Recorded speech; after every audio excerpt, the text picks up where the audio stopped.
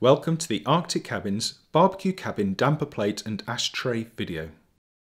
When the barbecue is in use and lit, the damper plate should be in the open position. Pull the lever under the tray at the front of the barbecue unit to open the damper plate.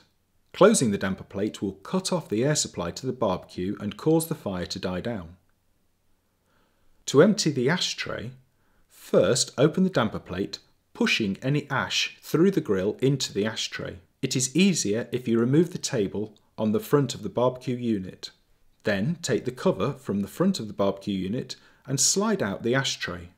This can then be emptied into a suitable metal bin outside. Then replace the ashtray, rehang the door, push the damper plate back in and reattach the table.